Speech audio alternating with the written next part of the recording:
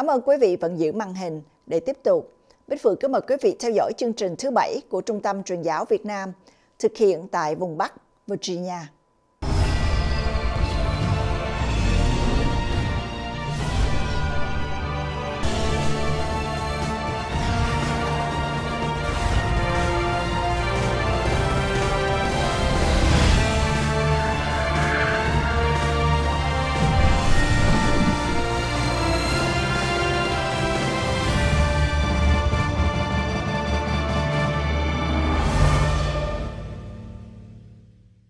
Kính thưa quý khán giả của đài SBTN, tôi nghĩ rằng dân tộc Việt Nam sống trong khu vực địa lý đặc biệt nằm sát với Trung Quốc, người Việt từ xưa đã học chữ Trung Quốc, đọc sách Trung Quốc và chịu ảnh hưởng tư tưởng nho giáo.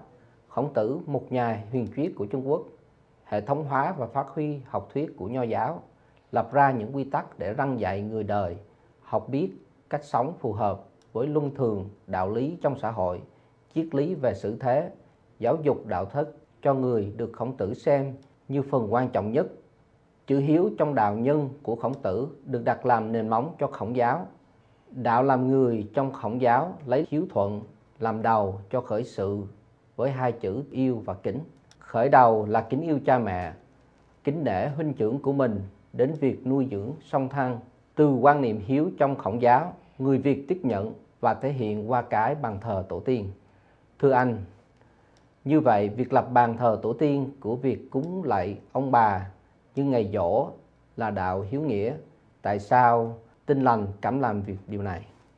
Kính thưa à, quý khán thính giả, cảm ơn người Nguyên. Theo đạo lý của người Việt Nam, việc hiếu kính phụng dưỡng cha mẹ, tôn quý ông bà là bổn phận thiêng liêng mà cháu con phải gìn giữ. Một lòng thờ mẹ kính cha, cho tròn chữ hiếu mới là đạo con điều quan trọng là cách thể hiện làm sao và như thế nào để đẹp lòng cha mẹ trước hết tôi xin nói về lòng biết ơn do bị ảnh hưởng của trung quốc với những mê tín từ các thuộc sĩ với nhang đàn giấy bạc và hàng mã mà nhiều người Việt cho rằng phải cúng, phải nhang đàn, phải hàng mã, phải bái lạy mới gọi là hiếu kính. Rồi vì các người theo cơ đốc giáo không cúng kiến nhang đàn nên đã kết luận rằng đạo cơ đốc dạy người ta bất hiếu với cha mẹ mình. Thưa quý vị, trước hết trong Thánh Kinh Cựu Ước, hiếu kính cha mẹ là một điều răn và là điều răn đứng đầu trong sáu điều răn liên quan với con người. Đến thời Tân Ước, Chúa Giêsu dạy nhiều lần về sự hiếu kính cha mẹ, như trong sách Matthew chương 15 từ câu 4 đến câu 6 Chúa Giêsu quở trách người Pharisee vì họ mượn lý do dân mình cho Chúa để không cần lo cho cha mẹ. Lời Chúa chép như sau. Đoạn, Ngài theo về thành Nazareth và chịu lì cha mẹ. Mẹ Ngài ghi các lời ấy vào lòng. Chính Chúa Giêsu làm gương văn phục cha mẹ, dù Ngài là Đức Chúa Trời. Trước khi Chúa Giêsu chết vẫn lo cho mẹ được chép trong sách Tiên lành văn chương 19 câu 25 câu 26. Phaolô dạy các tín hữu của hội thánh Epheso trong chương 6 câu 1 đến câu 3 và Colosse chương 3 câu 20 phải hiếu kính với đấng sinh thành. Điều thứ hai, đạo của Chúa là đạo dựa trên hai tiêu chuẩn chính, đó là kính Chúa và yêu người. Như có chép trong tin lành Matthew chương 22, lời Chúa được chép như sau: Đức Chúa Giêsu đáp rằng, ngươi hãy hết lòng, hết linh hồn, hết ý mà kính mến Đức Chúa Trời ngươi. Ấy là điều răn thứ nhất và lớn hơn hết. Còn điều răn thứ hai đây này cũng như vậy. Ngươi hãy yêu kẻ lân cận như mình. Hãy thảy luật pháp và lời thiên tri đều bởi hai điều răn đó mà ra. Vậy thì không thể nào đạo Chúa dạy người ta bất hiếu với cha mẹ mình được. Thật ra, nếu đạo mà dạy con người bất hiếu thì thật chẳng còn là đạo nữa. Sự hiểu lầm này là vì chúng ta không phân biệt được giữa sự thờ phượng Chúa và sự hiếu kính cha mẹ mình.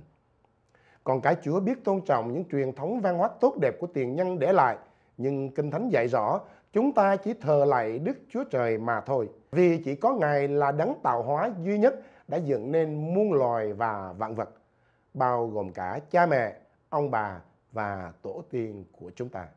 Hơn nữa, Kinh Thánh dạy chúng ta phải bày tỏ lòng hiếu kính cha mẹ một cách thực tế, nhất là khi họ còn sống vì khi ông bà cha mẹ đã qua đời thì chúng ta chẳng làm gì được cho họ, kể cả cho ăn hoặc uống ngoài những phong tục cúng tế. Ngược lại họ cũng không thể phù hộ gì được cho chúng ta cả. Không phải thầy Tăng Tử đã có một lần nói như thế này, giết trâu tế mộ, khi cha mẹ qua đời rồi thì chẳng bằng giết con gà, con heo lúc cha mẹ sinh tiền.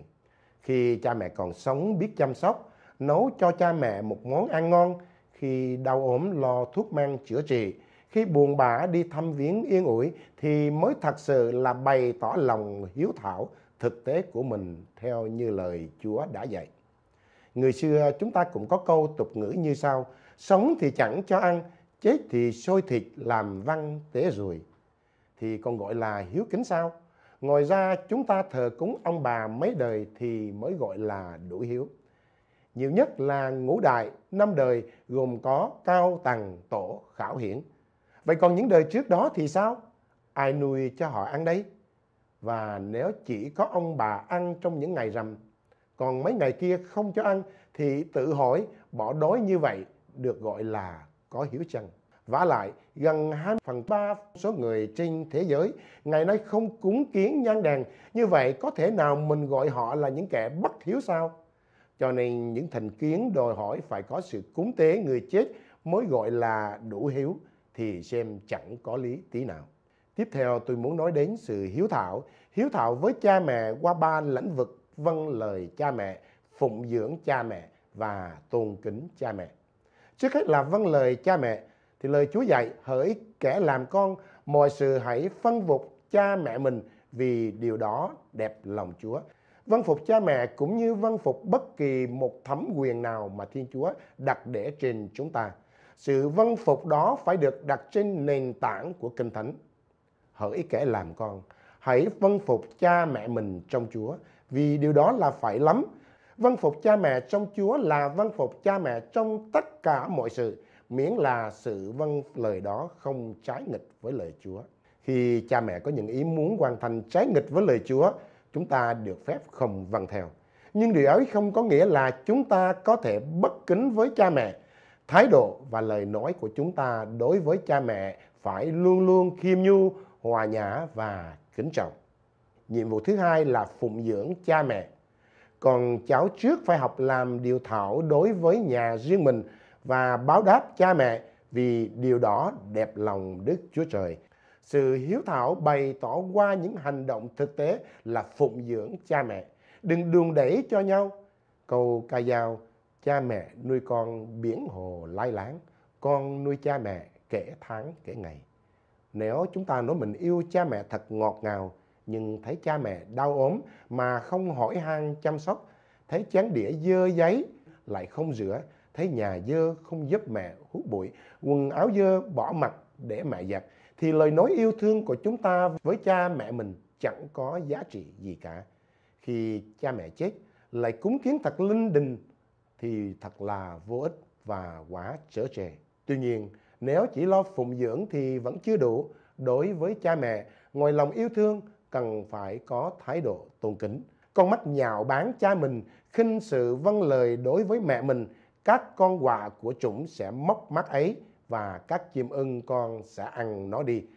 Tôn kính có nghĩa là tôn trọng và kính phục. Theo quan điểm của Kinh Thánh thì những người con bất hiếu sẽ bị hình phạt rất nặng.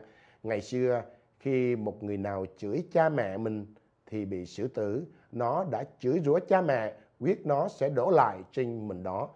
Khi cha mẹ già, chúng ta không nên xem thường hay khinh bỉ họ.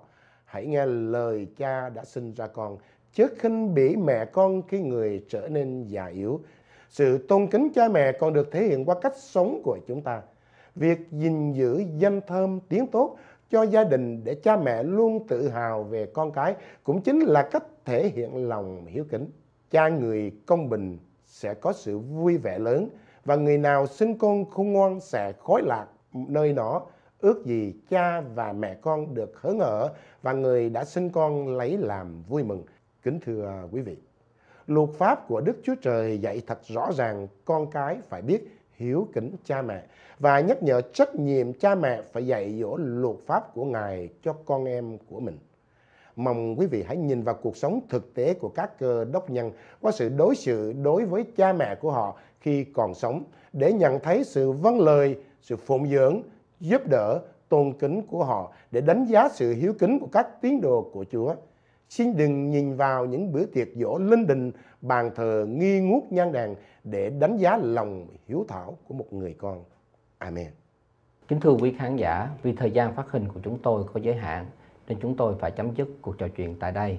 Chúng tôi sẽ trở lại trong lần phát hình lần sau để tiếp tục trình bày với quý vị những thắc mắc về sự cứu rỗi được bảo đảm đời đời. Xin kính chào và hẹn gặp lại quý vị lần sau. Kính chào. đời người rồi quá mau, thân con ta từng ngày lời ngài là sức sống, con luôn tin kính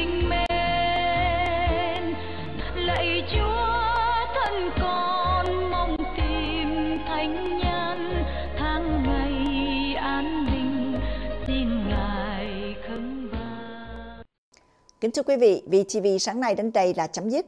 Bích Phượng kính mời quý vị đón xem VTV Chủ nhật ngày 19 tháng 4 2020 vào lúc 11 giờ sáng giờ Hoa Trình Đốn.